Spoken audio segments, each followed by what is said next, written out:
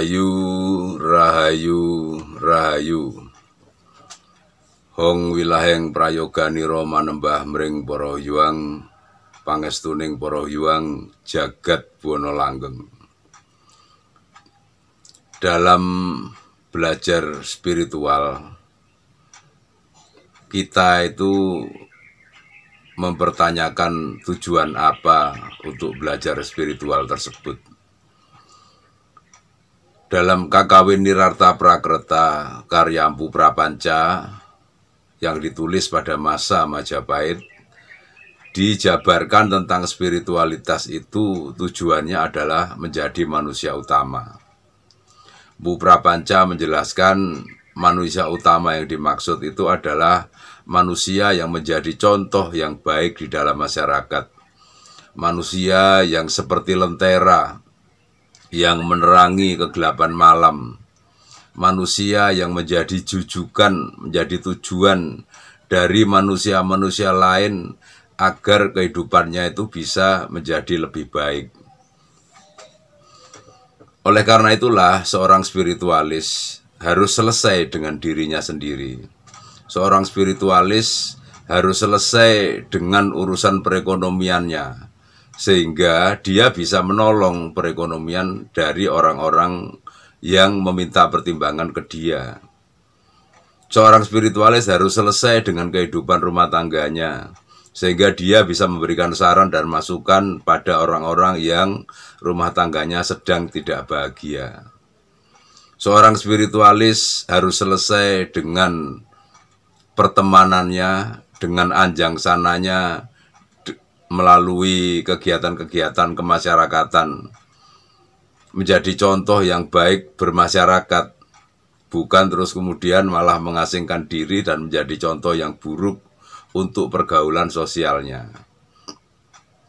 Oleh karena itulah kita itu untuk menjadi spiritualis dalam belajar itu perlu tuntunan melalui tontonan para leluhur kita sejak zaman dulu mempermudah tuntunan melalui tontonan dengan pagelaran wayang.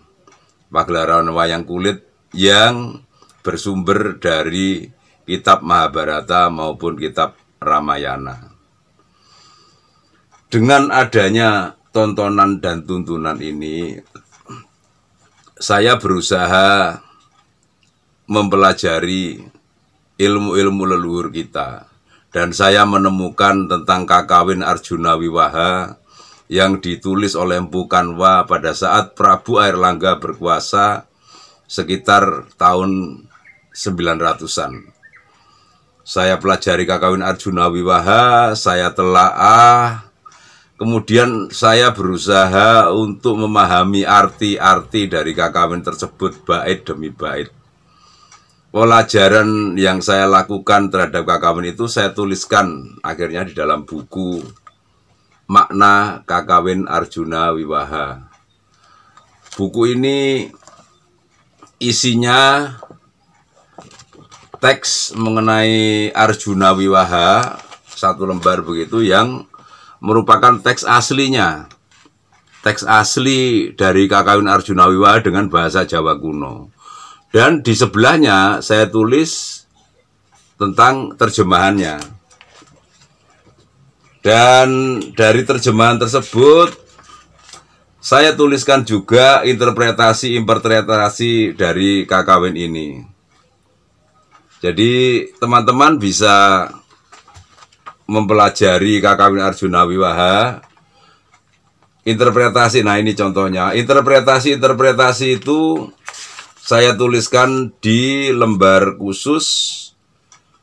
Jadi kalau yang tadi itu jejer dua itu teks asli dan terjemahan, yang ini lembar khusus mengenai interpretasi-interpretasinya.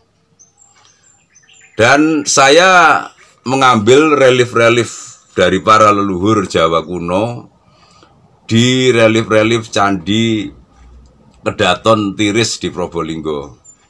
Relief itu menggambarkan kisah Arjuna Wiwaha. Jadi para leluhur kita memahatkan kisah Arjuna Wiwaha dengan tujuan agar generasi muda nantinya seperti kita sekarang bisa mempelajarinya. Relief itu selain di Candi Tiris Kedaton juga di Candi Surawono di Kediri. Jadi sampai dua candi itu dipahatkan relief tentang kakawin Arjuna Wiwaha itu benar-benar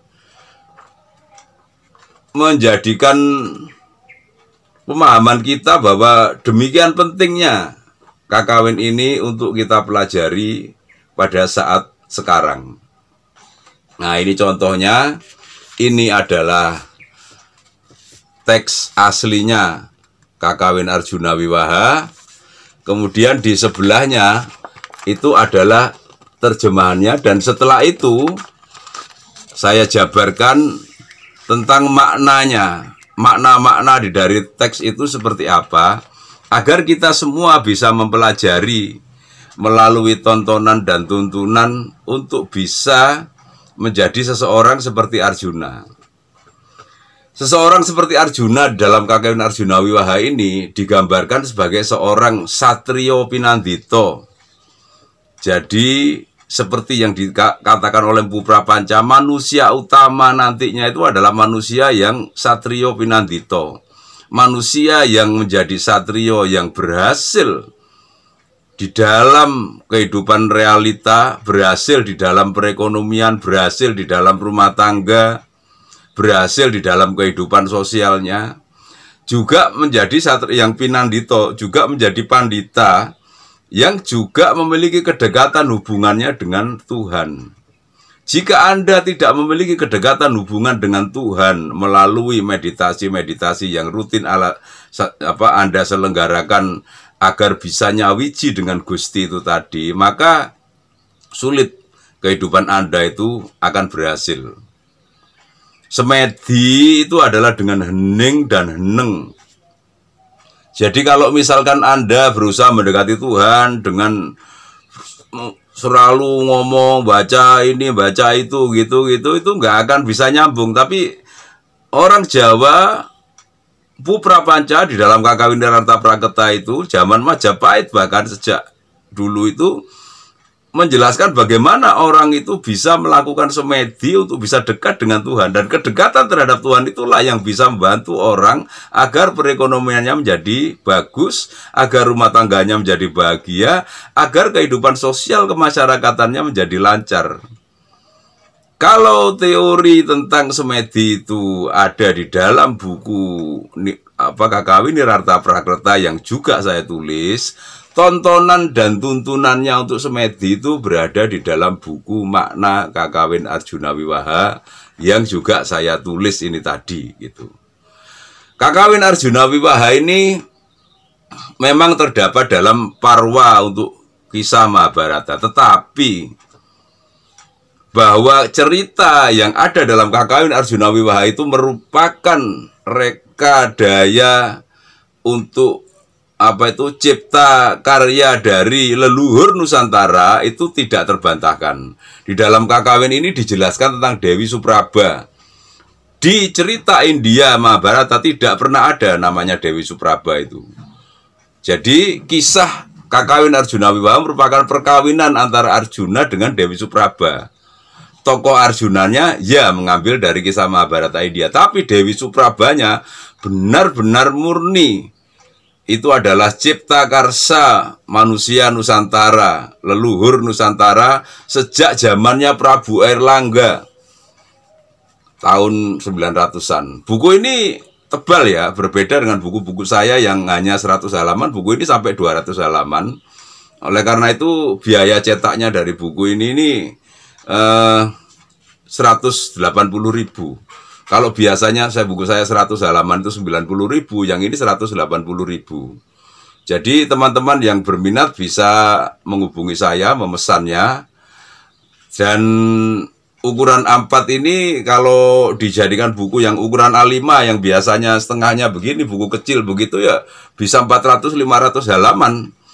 Itu bukunya kalau 400-500 halaman bisa seharga 300 atau 400 ribu itu kalau kalau dicetak. Jadi buku ini sudah cukup murah. Saya tidak bertujuan mencari uang dengan membuat buku ini. Saya mencetak apa adanya dengan biaya cetak apa adanya. Tujuan saya adalah menyebarkan ke seluruh Nusantara agar orang seluruh Nusantara bisa memiliki tontonan dan tuntunan yang baik dari para leluhur Nusantara yang asli. Bukan terus kemudian asal ngomong ini dari leluhur Nusantara. Tidak, teks Arjuna Wiwaha ini dari para leluhur Nusantara. Mari kita belajar yang benar untuk cari teks-teks asli leluhur Nusantara itu seperti apa. Dan makna-maknanya, penjabarannya itu seperti apa. Demikian penjelasan saya, semoga bermanfaat bagi Anda semuanya.